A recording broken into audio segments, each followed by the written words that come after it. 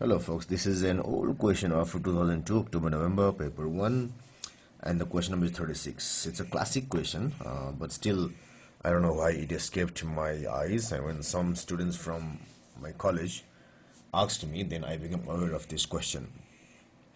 So it says uh, 6 resistors each of resistance 5 ohm, uh, 5 ohm all of them are connected uh, to a 2 volt cell, 2 volt cell of negligible internal resistance what is the potential difference between uh, terminals x and y? So we have x terminal here and y here. So we have to find the PD in between these two terminals.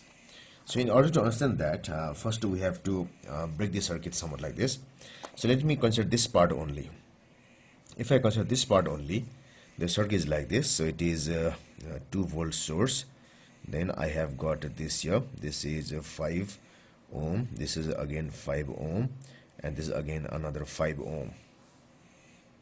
So this is point x. So this is point x. Let us first find this value this voltage this potential difference. So it is 5 5 and this is 5 and then if I skip this if I skip this thing this thing the whole thing appears as this. So only this source and this appears. This then this and then this this. So this is point y. So this is point y. And we have to find this voltage which is v2 this is point y. It's 5 ohm 5 ohm and 5 ohm. So here if I apply voltage divider formula here the resistance from here to here is 10 ohm. It's because this and this in series.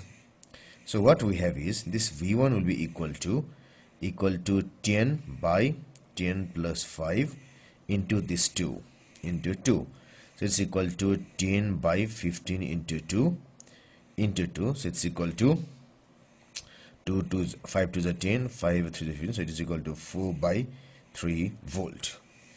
So this uh, v1 is equal to 4 by 3 volt or the pd between this point and this point is equal to 4 by 3 volt. And here we have so this is 5 ohm. So we have v2 is equal to 5 by 5 uh, plus 5 plus 5 so it's 15 actually. So it is a 5 plus this thing is 10 10 into this 2 so this is 2 this is 2 so it will be equal to 5 by 15 into 2 equal to 5 3 the 15 it is 2 by 3 volt.